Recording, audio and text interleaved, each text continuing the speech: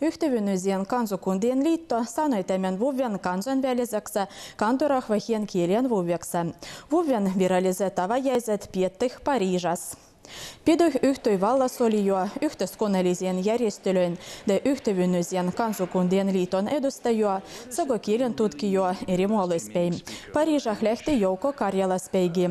Vuoden tavoitteen on kiinnittää huomioon kandurahvahien kielih, säilyttää ja kehittää niilöi. UNESCO'n yedolen mugah 90 protsento kandurah vahen kieli sola häveemäs. Venel kanson välisen kandurah vahen kielen vuven avajaiset pieta hanti mansiiskoist autonomises piirikunnas kevetkuus. Kaikiedah tämän vuven aigah mien muas pieta hinen biseetsiedussadua erilastopidoa.